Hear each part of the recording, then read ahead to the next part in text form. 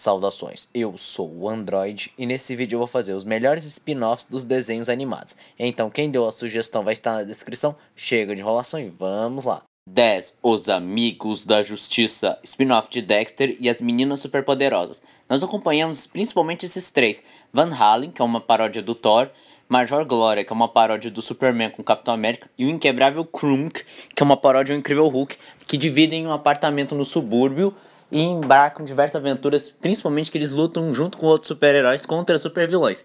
Uma série que, no meu ponto de vista, deveria ter um reboot. É sério, imagina o potencial de uma série dessas, um reboot que dá para misturar o humor juntamente com a ação. 9. A Guarda do Leão, spin-off de O Rei Leão. Kyle é o filhote mais novo de Simba e Nala e irmão de Kiara, que ganha o poder do rugido com o qual permite que ele seja o líder da Guarda do Leão. E para completar a Guarda do Leão, ele deve encontrar o mais corajoso, o mais forte, o de melhor visão e o mais rápido. Só que em vez de chamar leões, ele acaba chamando seus amigos que são de outras espécies e assim se torna a primeira guarda do leão interespécie. E apesar de ter algumas histórias meio bobinhas, com cantorias de estourar os ouvidos, é notório ver como ele expande a mitologia do Rei Leão e é até divertidinho. 8. Pink e o Cérebro, spin-off Animaniacs. Essa série é muito nostálgica e quem conhece ama. Nós acompanhamos Pink, um rato pouco inteligente e bobinho, e Cérebro, o rato mais inteligente que quer dominar o mundo, mas é frustrado pelo seu amigo. Essa série tinha um humor bastante inteligente, mas o que supera tudo isso em Pink o Cérebro era a frase: Puxa, cérebro, o que faremos essa noite? A mesma coisa que fazemos todas as noites, Pink, tentar conquistar o mundo.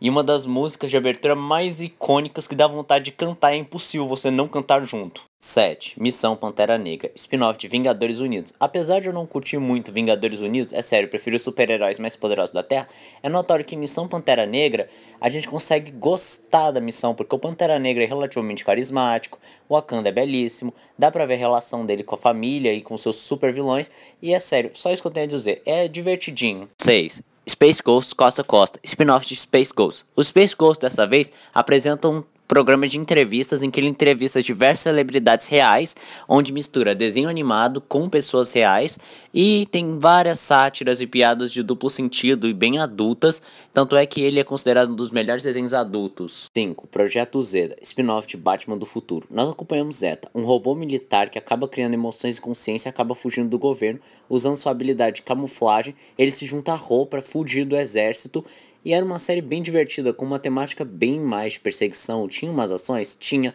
mas infelizmente isso não conseguiu salvar ele de seu cancelamento, que tinha muita história pela frente.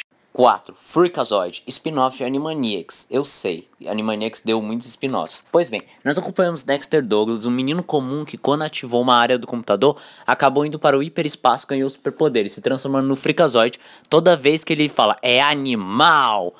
Então, o Freakazoid é um dos super-heróis mais engraçados, enérgicos e bizarros que existem. Com seu humor no sense, momentos que ele quebra a quarta parede e que a gente ri muito com seus vilões peculiares, piadas completamente inteligentes. Sério, Freakazoid é louco. 3. Duck Dodgers, spin-off de Looney Tunes. Nós acompanhamos Duck Dodgers, que acabou sendo congelado por muito tempo acordou no século 24 e meio, e para provar ser um super-herói da Terra, ele junto com seu cadente enfrentam a ameaça dos marcianos. Uma ficção científica completamente hilária, repleta de ação e que tudo que as pessoas que assistem ficção científica gostam. Um dos melhores spin-offs de Looney Tunes, no meu ponto de vista. Ou melhor, pode ser facilmente o melhor spin-off. 2. Os Casagrande ou Los Casagrandes spin-off de The Loud House. Nós acompanhamos Ronnie que se muda para a cidade para morar junto com sua família e então a gente embarca em diversas aventuras bem parecidas com The Loud House, mas é claro que são os Casa Grande. Apesar de ser muito parecido, continua tendo o mesmo sucesso de The Loud House. Eu particularmente gosto.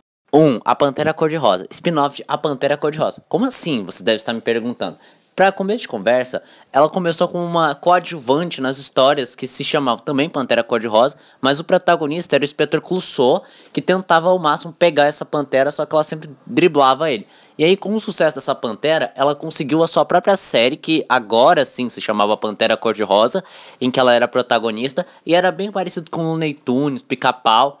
Mas também acabou ficando muito chato com a remoção do politicamente correto e também nunca foi tão querido assim quanto Looney Tunes, Pica-Pau ou semelhantes. O único mérito que posso apontar é a música icônica. Menções honrosas: Os Mistérios de Piu Piu e Frajola, Star Wars Rebel, Star Wars The Clone Wars, as duas versões, e Batman do Futuro, apesar desse último não considerar como spin-off. E esse foi o vídeo de hoje. Se você gostou do vídeo, se inscreve no canal, compartilha o vídeo, comente, dê seu like, dê sugestões de vídeo vocês querem ver no canal. Também não esqueçam de ativar as notificações e deixar o like caso gostem do desenho. Então, Android, tchau.